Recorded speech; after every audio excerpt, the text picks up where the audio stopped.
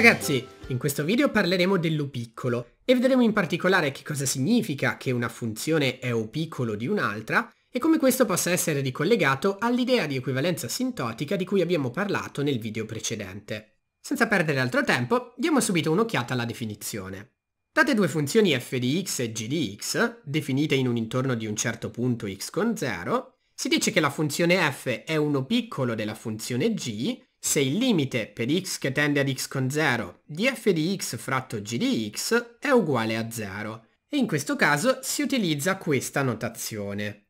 Da un punto di vista intuitivo, dire che la funzione f è uno piccolo della funzione g quando x tende ad x con 0 è un po' come dire che la funzione f risulta infinitamente più piccola, se confrontata con la funzione g, quando ci si avvicina al punto x con 0. Per fissare meglio le idee e capire bene di che cosa stiamo parlando, diamo subito un'occhiata ad un esempio e cerchiamo di visualizzare la situazione da un punto di vista grafico.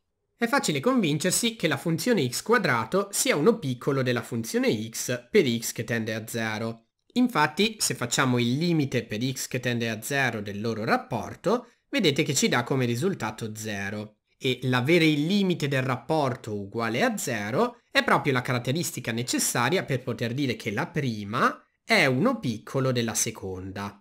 Ora, se grafichiamo la situazione e andiamo a vedere che cosa succede in prossimità di x uguale a 0, Vedete che la funzione x quadro, che vi ho rappresentato qui con il grafico giallo, assume dei valori che sono piccolissimi, praticamente trascurabili, se confrontati con quelli che assume la funzione viola, ovvero la nostra x. E dunque capite il senso dell'interpretazione intuitiva di cui vi parlavo poco fa. È un po' come se la funzione x quadro fosse infinitamente piccola, se confrontata con la funzione x, in prossimità del punto x uguale a 0. Capito questo? Diamo un'occhiata a qualche altro esempio.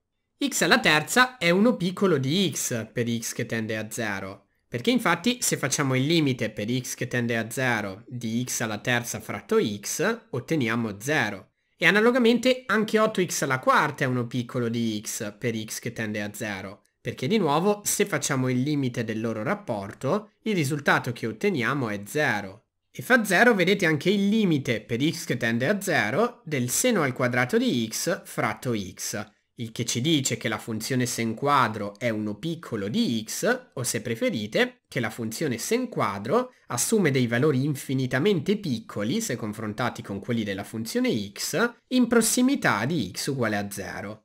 Ah, sicuramente qualcuno di voi avrà notato che queste tre funzioni, che sono molto diverse tra di loro, sono tutte e tre uguali ad O piccolo di x quando x tende a 0. E questo potrebbe creare qualche perplessità la prima volta che uno vede una scrittura di questo tipo.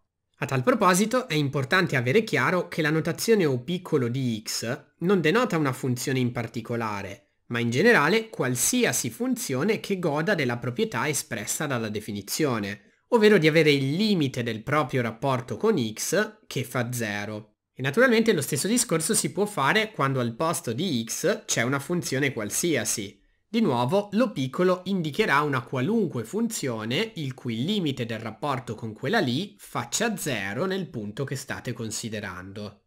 Ah, da questo fatto seguono alcune proprietà molto interessanti dello piccolo con cui vale la pena familiarizzare fin da subito, visto che poi le useremo nel risolvere i limiti con Taylor. Ad esempio, O piccolo di x meno O piccolo di x non fa 0, come potrebbe venire da pensare, ma fa invece O piccolo di x. E questo perché se prendiamo una cosa infinitamente piccola rispetto ad x, diciamo trascurabile praticamente rispetto ad x, e gliene togliamo un'altra anch'essa infinitamente piccola, noi non sappiamo esattamente che cosa avviene, però siamo certi che il risultato di questa operazione sia a sua volta sostanzialmente trascurabile, infinitamente piccolo, se confrontato rispetto ad x.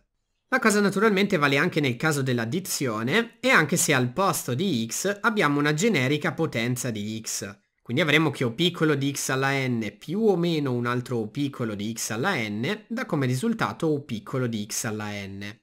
È poi interessante notare che uno piccolo di x alla n moltiplicato per uno piccolo di x alla m dà come risultato uno piccolo di x alla n più m, e similmente, se moltiplico x alla n per uno piccolo di x alla m, il risultato sarà certamente o piccolo di x alla n più m.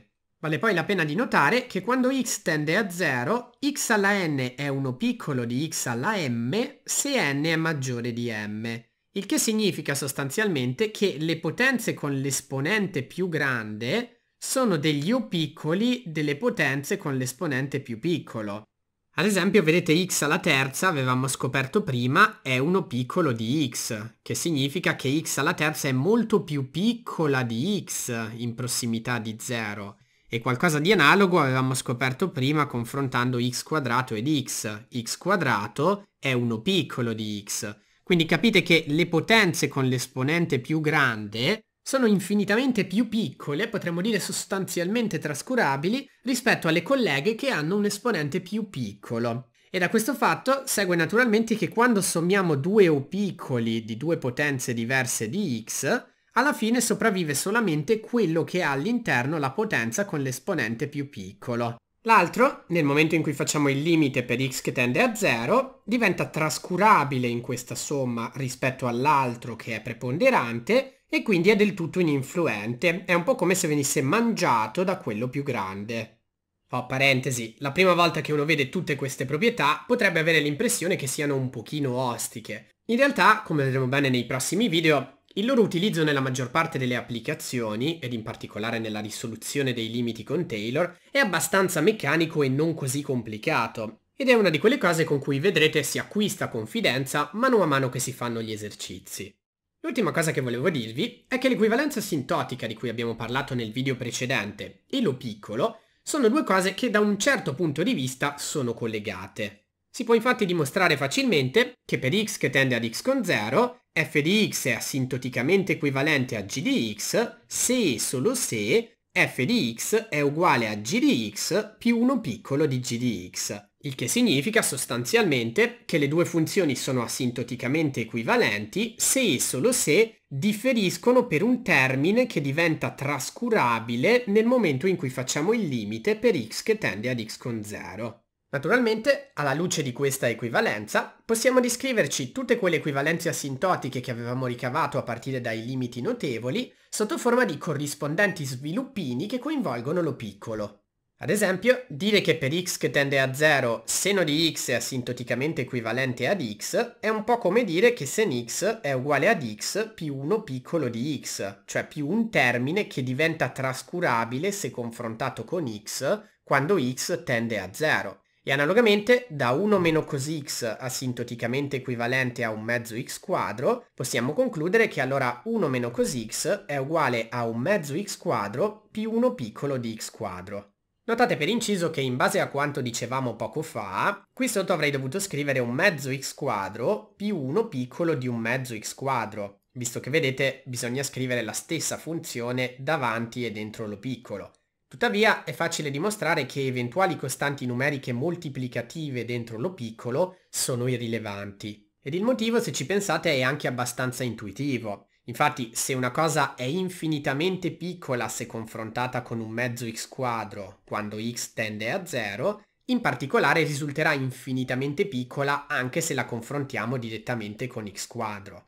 Quindi in generale, ogni volta che vi trovate uno piccolo di k volte x alla n, dove k è un numero, potete descrivervelo più semplicemente come o piccolo di x alla n, visto che la costante moltiplicativa, come dicevamo, è ininfluente.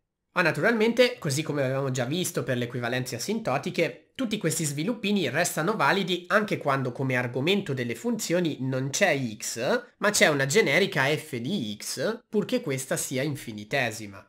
Ne segue quindi, volendo fare un esempio, che in una somma di termini come questa, il seno di x alla terza, in base a questo sviluppino qui, potrò riscriverlo come x alla terza più 1 piccolo di x alla terza, e analogamente il logaritmo di 1 più 2x alla quinta, in base a questo sviluppino qui, diventerà semplicemente 2x alla quinta più 1 piccolo di x alla quinta, quando x tende a 0. E tutto questo, in base alle proprietà di O piccolo di cui parlavamo prima, diventa semplicemente x alla terza più O piccolo di x alla terza, visto che 3x alla quarta e 2x alla quinta sono entrambi degli O piccolo di x alla terza, visto che sono delle potenze con esponente più grande e quindi sono trascurabili rispetto a x alla terza quando x tende a 0. E inoltre in una somma di O piccolo, come dicevamo prima, sopravvive solamente quello che ha al suo interno la potenza con l'esponente minore.